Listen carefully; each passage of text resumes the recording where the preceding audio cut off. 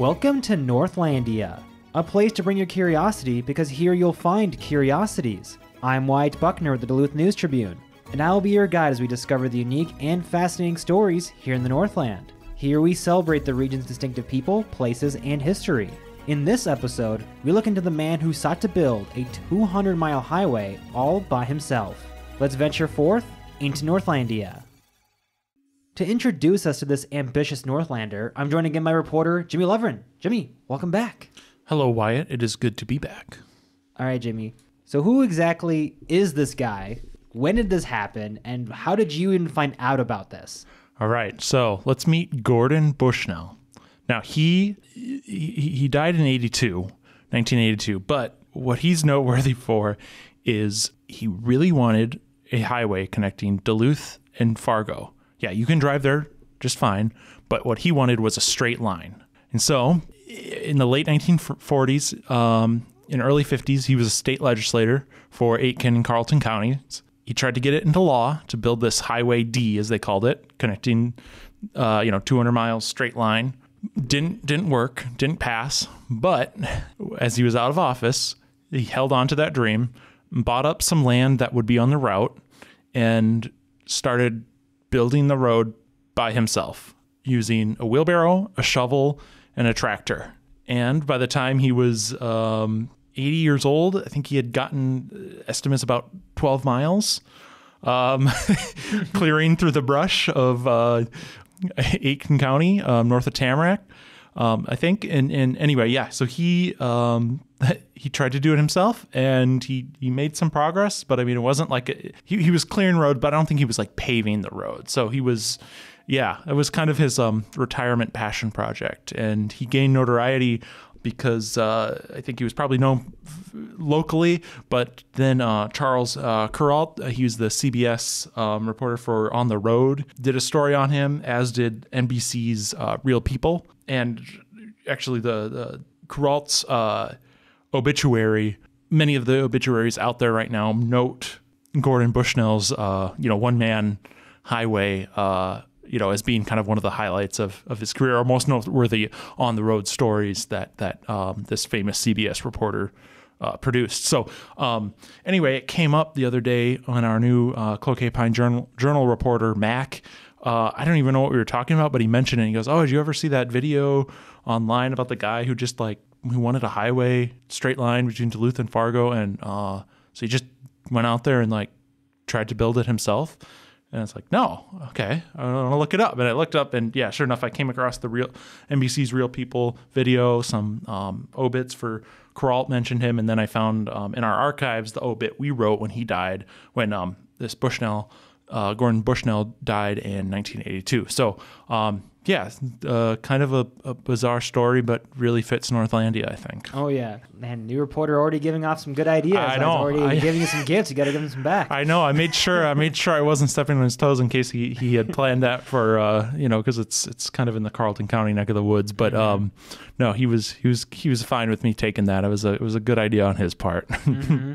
Yeah, I think you had describing the story, you had just sent me the the YouTube link for the Real People one, mm-hmm. uh, and that was kind of entertaining. It was definitely like a news product of its time style. Right. Uh, reporter goes on scene, and like I think he even like the reporter made a comment while he was working or whatever about like oh these are new shoes like you yeah. want new shoes or whatever like which you know working man meets like on the road reporter which was kind of entertaining yeah and how they introduce the story too about like how uh they're trying to get a road and it just keeps on happening so they got tired of waiting or uh-huh. something kind of like that you know so he just takes it in his own hands right and and real people exist in the late 70s early 80s on nbc and and i that was well before our time but um there's like a people laughing in the background so there must have been like a live oh, yeah, audience right. component because mm-hmm. anytime you know most of what bushnell said was just funny i mean not you know not not laughing at him i mean mm-hmm. he he he got a kick out of what he was doing too he he realized it was kind of crazy and kind of funny but the things he would say would would cause people to laugh like um i think uh, one of the things that stuck out to me was that he kind of early on when he was starting this project um he started to experience some severe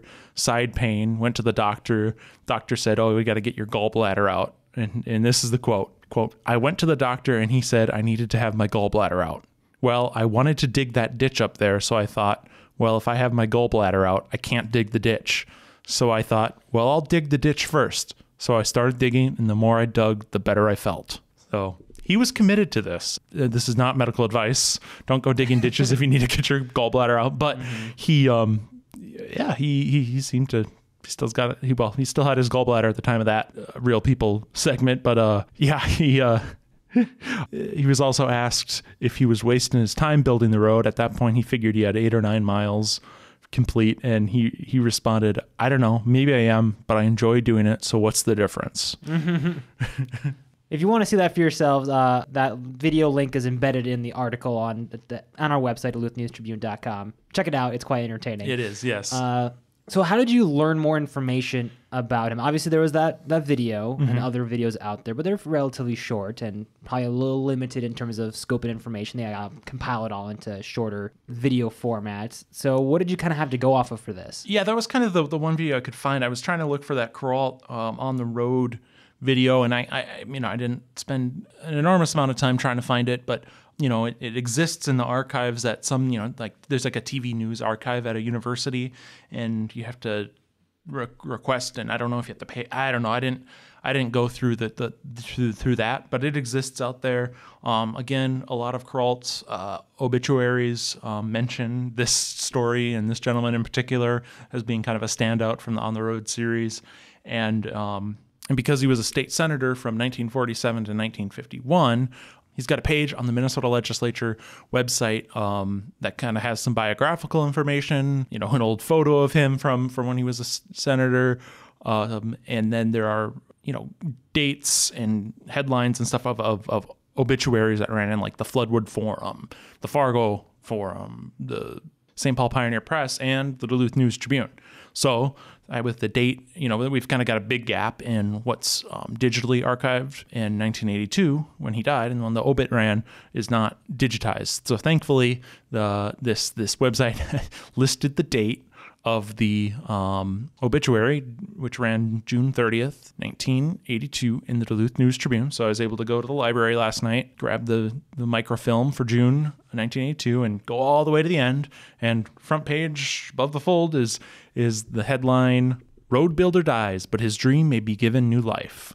and uh, yeah, so it's it's kind of funny. It's um so yeah, and and, and, and other headlines at the time is uh, the um, Belushi death investigation reopened. John Belushi, SNL. There's uh, actually a Israeli Palestinian conflict story, so not a whole lot has changed. Um, but anyway, that led the paper that day and offered some interesting details. Um, talking to uh, some people who, who knew him um, from the legislature and from um, you know living near him, and and offered some some good details um, about him. Yeah, so let's let's let's go back a little bit and get more to like the root of what the problem was here. so how do you get from Duluth to Fargo? Obviously, it doesn't sound like it's a straight line because that seems to be part of what spurred him on to do this. But Sure. So today, if you were to plug into Google Maps, comes up with three options. I mean, there's more than three ways to get there, but the, kind of the three quick ways it gives you are all between 242 miles and 257 miles. And you kind of have to go either um, the furthest north takes you through Walker, Minnesota. The furthest, furthest south, you go by way of Brainerd.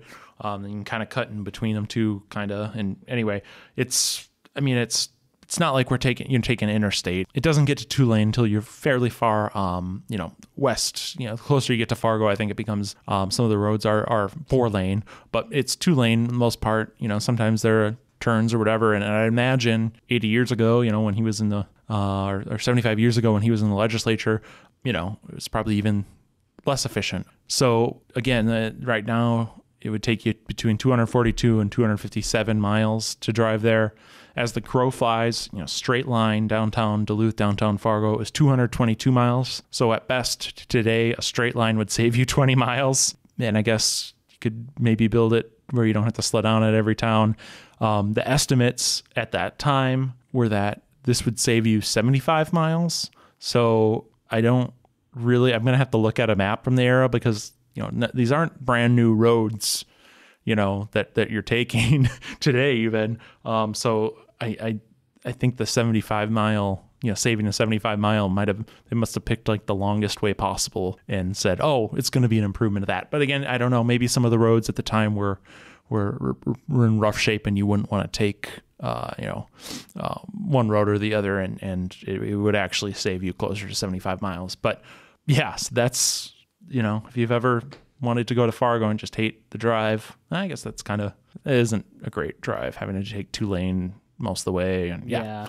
i get it. I get it. But it's mm-hmm. just funny that i don't think i'd ever come to me that i'd take up you know more than 20 years of my life to clearing the woods and trying to build it myself and really only get i mean at most the duluth news tribune obituary said he had, had made it 12 miles and that's kind of combined you know portions. He it sounds like he kind of connected existing roads sometimes not all of the sections were connected but when you added everything up it ended up being 12 miles yeah mm-hmm. so i mean he made it 5% of the way mm-hmm. and I know that you had mentioned that he had they had tried to get the the highway built like legitimately like Right. through the means of like state funding and such.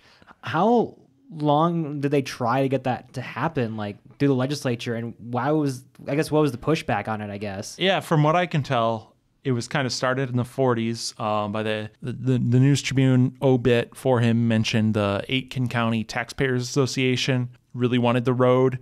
Um, and th- that's that's who was claiming it would um, shorten the existing route by 75 miles. And then, as a legislator, he tried to get the the bill passed. Right, the Bushnell tried to get the bill that would have established the so-called Highway D. And there was even money allocated for segments, but the actual, you know, it never made it across the finish line. Um, and I don't exactly know why that is. There's apparently a file at the Minnesota Historical Society about Highway D, and it, it it's not digitized, but it, if someone wanted to go drive down to the, I think it's, in the, I'm assuming it's at the St. Paul location of theirs. I, I, in their apparently in their Department of Transportation files, they've got a box or so of Highway D material if you really want to dig into it. Of course, I didn't have the, the, the time or dedicate the resources to to doing that. But if you Google Highway D Minnesota Historical Society, um, you should should come across you know how to how to access that if you're you know eager to pick up where uh, Gordon Bushnell left off 41 years ago when he died.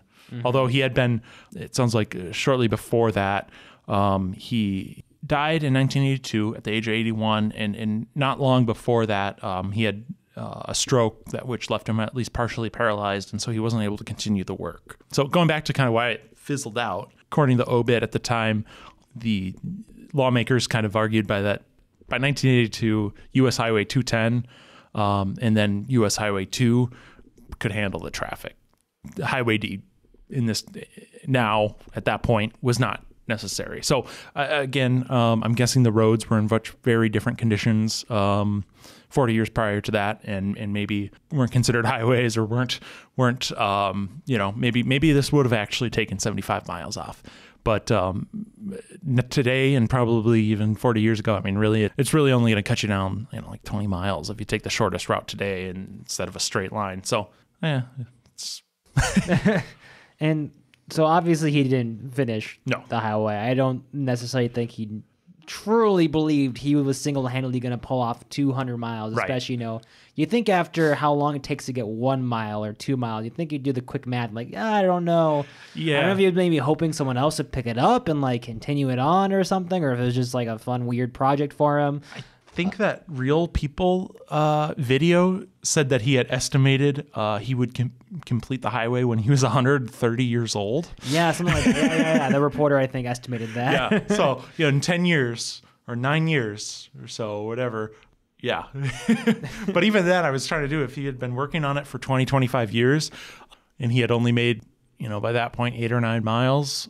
I, I, wasn't really following his math unless he had, I mm-hmm. suppose, maybe some existing roads that he could tie into and that accounted for a lot of it. But yeah, I don't. I think he. I think he saw it as kind of a something to do in retirement. And but he was up. It sounds like I mean the the the News Tribune obit at the time talked to a school bus driver who would every morning on his route picking up kids would see Bushnell out there working on his highway. So um, there was some talk at the time when he died that maybe it could become you know a recreational trail for ATVs, snowmobiles, whatever. it doesn't sound like that was ever officially designated. I, tried to do some sleuthing to fi- figure out where exactly he was, and there's some hints online of people not wanting to give it away completely.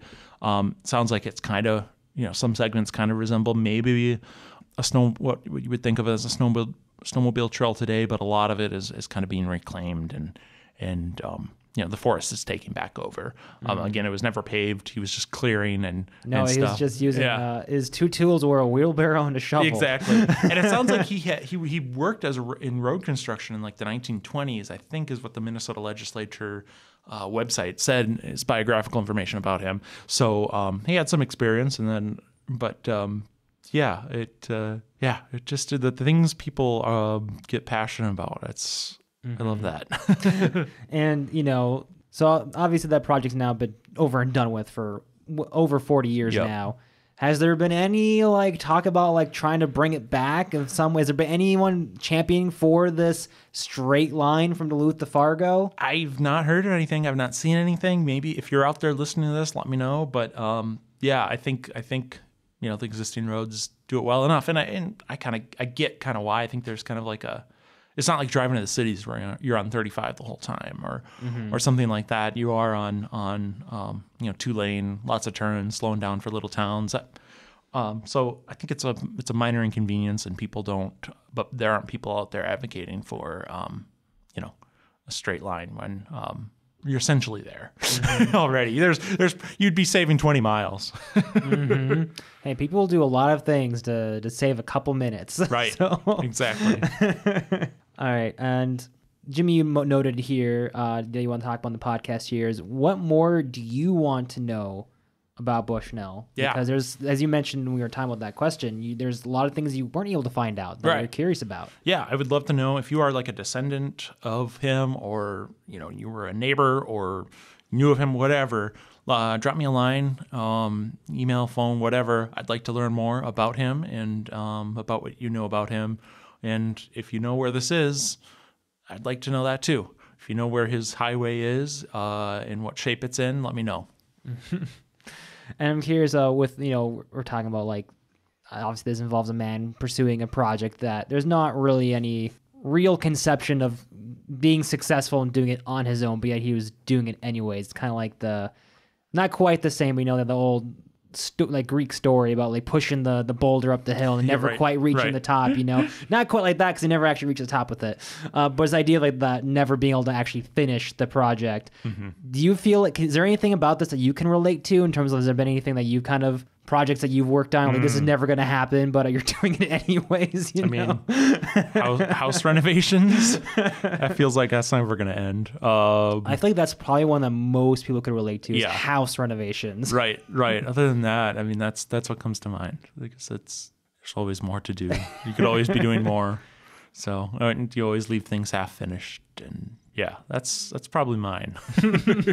And with that being said, uh, what is it about this that you think makes it unique Northlandia? Because obviously, there's like as we talked about, there's that thing that I I feel like most people could relate to of that right. desire to finish, to work on a project that you deep down probably know probably won't ever be finished, but you're doing it anyways.